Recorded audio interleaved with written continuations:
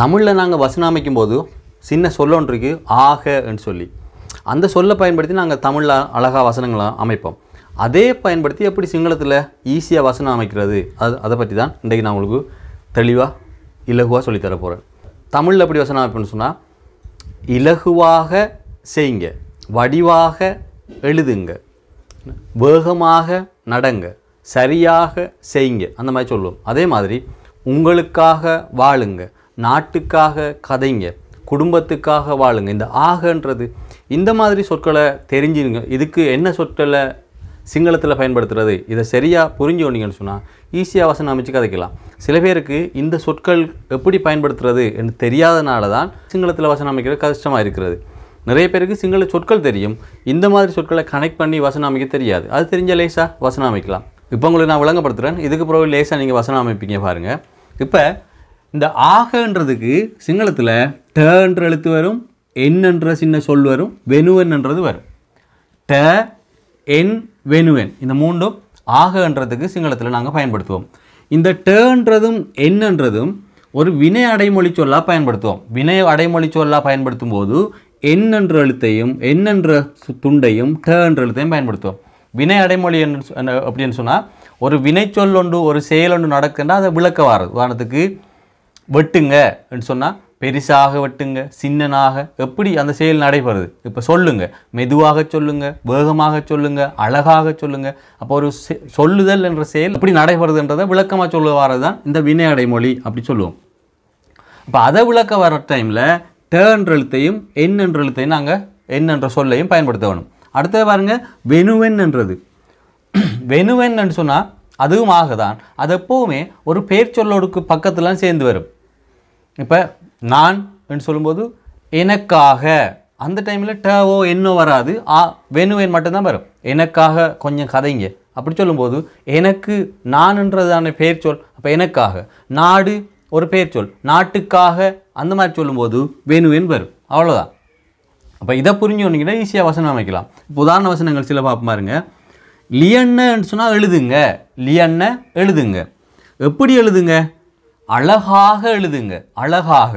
அப்போ அழகு ஆ அழகுன்றது பேர் சொல்லில்ல. என்ன? அழகாக எழுதுங்க. எப்படி எழுதுங்கன்றத விளக்க வர்றது அழகாக எழுதுங்க. அப்போ லசனன்னு சொன்ன அழகு லசனட்ட அழகாக இந்த ட வந்து எடுத்த ஆக என்று வருது. லசனட்ட இல்லையான்னு அழகாக எழுதுங்க. இது ஒரு பேட்டனை வச்சு நாங்கள் நிறைய வசனங்களை அமைக்கலாம். இப்போ அழகாக எழுதுங்க லசனட்ட இல்லையான்னு பெரிசாக எழுதுங்க. அப்போ லொக்குவட்ட லியன்னு பெரிசாக எழுதுங்க. லொக்குவட்ட லியன்னு பெரிசாக அந்த இடத்துல ட வருது. சின்னதாக எழுதுங்க. பொடியட்ட லியன்னு சின்னதாக எழுதுங்க. அப்படி அந்த வசனம் வரும். அடுத்து பாருங்க என்னன்றது இது வசனத்தில் வரும்போது சில நேரத்தில் இன் என்ற உச்சரிப்பில் வரும். இப்போ பாருங்க. சத்துட்ட என்று சொன்னால் சந்தோஷம். சத்துட்ட சந்தோஷம். சந்தோஷமாக இருங்க. இருங்கன்னு சொன்னால் இன்ன. இருங்க இன்ன அப்போ சந்தோஷமாக இருங்க அப்படி சொல்லுவோம். சந்தோஷமாக.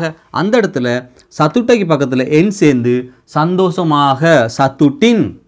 அல்லது சத்துட்டன்னு சொன்னாலும் ஓகே சத்துட்டின்னு தான் கூடுதலாக வரும். சத்துட்டின் இன்ன சந்தோஷமாக இருங்க. சந்தோஷமாக இருங்க. அதே மாதிரி மெதுவாக சொல்லுங்க மெதுவாக சொல்லுங்கன்னு சொல்லும்போது ஹெமின். ஹெமின் கியான். மெதுவாக சொல்லுங்க. ஹெமின் கியான். வேகமாக சொல்லுங்க. வேகமாக சொல்லுங்க. அப்படி சொல்லும்போது வேகயன் வேக வேகயன் கியன் என்னன்றது வருது. வேகயன் கியன் கவனமாக போங்க. பரிசமின் என்ன பரிசமின் எண்ண கவனமாக போங்க. இந்த மாதிரி. அப்போ போங்க ஒரு வினைச்சொல். எப்படி போங்க? கவனமாக போங்க. மெதுவாக போங்க. வேகமாக போங்க. அப்படி ஒரு செயலை விளக்க வாரத்துக்கு பயன்படுத்தும் போது என்னன்றதையும் டன்றதையும் பயன்படுத்துவோம். இப்போ பாருங்க. அடுத்தது வெனுவேன் வெனுவேன் என்றாலும் ஆக. இப்போ பாருங்க உங்களுக்காக வாழுங்க. நான் சொல்கிறேன் உங்களுக்காக வாழுங்க.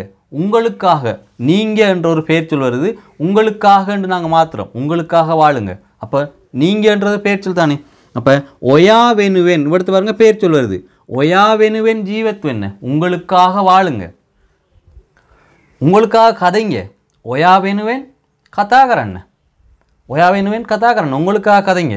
உங்களுக்காக படிங்க ஒரு பேட்டர்ன் நாங்கள் எடுத்த அப்படின்னு சொல்ல மாத்திரம். ஒயா வேணுவேன் நிகழகண்ண உங்களுக்காக படிங்க. உங்களுக்காக வாழுங்க. ஒயாவேனுவேன் ஜீவத்வன்னு என்ன? உங்களுக்காக வேலை செய்யுங்க.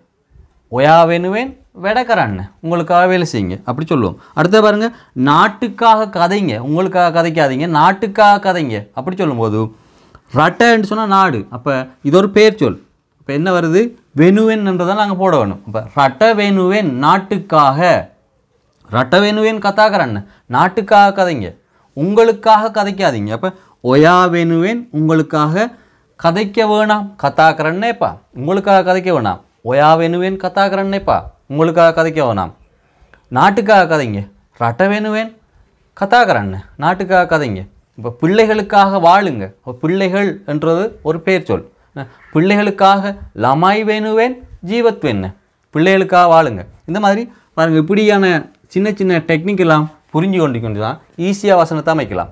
தனியாக நீங்கள் வசனங்களை பாடமாக்கி பாடமாக்கி வசனங்களை கேட்டு கேட்டு உங்களை மற்றாக்கள் கதைக்கிறது உங்களுக்கு விளங்கும். ஆனால் கதைக்க முற்படும் போது இப்படியான சின்ன பகுதிகளுக்கு விளக்கம் தெரியாதனால உங்களுக்கு வசனம் அமைச்சு கதைக்கிற கஷ்டமாக இருக்கும். அதே போல் நிறைய பேர் சிங்கள எழுத்துக்கள் தெரிஞ்சால் தான் கதைக்கலாம்.